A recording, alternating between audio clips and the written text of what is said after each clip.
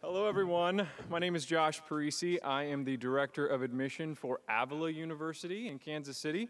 We're a small private Catholic university tucked into the suburbs of South KC. And I'm bringing to you big news from Avila today. It's actually, you're actually the first to hear this news before our student population. So if you could engage in a little covert operation and keep this under wraps until Tuesday, I sure would appreciate it.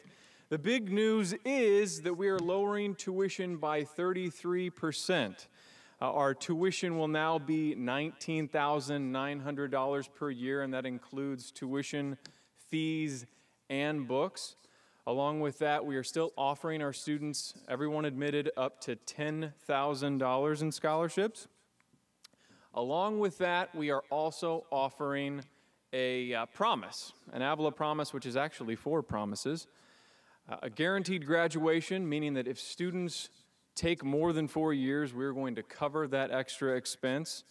Every student at Avila is going to have a guaranteed internship or research experience.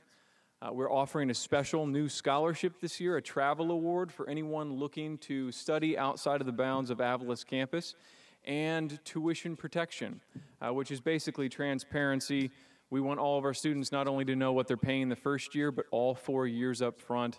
No rugs pulled out or curveballs thrown. Hoping all of this together turns some heads and creates a realization that uh, private uh, college education in Kansas City is affordable.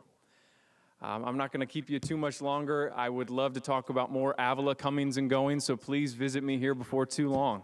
Thank you.